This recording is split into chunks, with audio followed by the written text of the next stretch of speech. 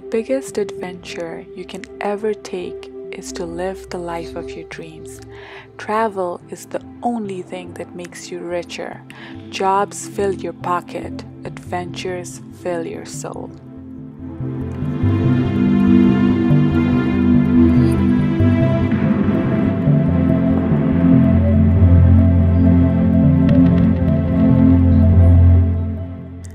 The impulse to travel is one of the hopeful symptoms of life.